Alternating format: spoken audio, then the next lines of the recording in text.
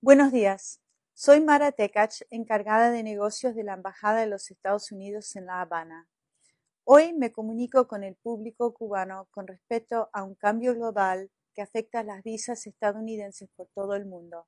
Se trata de un alineamiento de reciprocidad que se está realizando en, en embajadas estadounidenses en todos los países. Explico.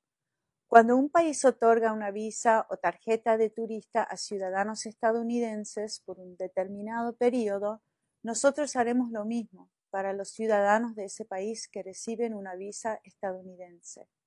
Actualmente, Cuba otorga a visitantes estadounidenses una entrada válida por solamente dos meses, con una posible prórroga por un mes adicional. Para esta categoría de visa, los Estados Unidos le otorga a ciudadanos cubanos visas de múltiples entradas válidas por cinco años. Para establecer reciprocidad, el gobierno de los Estados Unidos va a alinear esta categoría de visa. A partir del 18 de marzo, las visas B2 se otorgarán de una forma recíproca.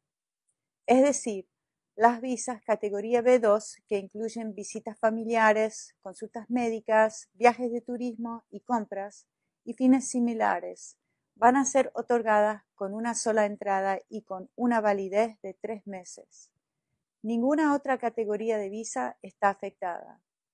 Para más información sobre este cambio, los servicios consulares o sobre los Estados Unidos en general, los invito a consultar nuestros servicios digitales. Muchas gracias por su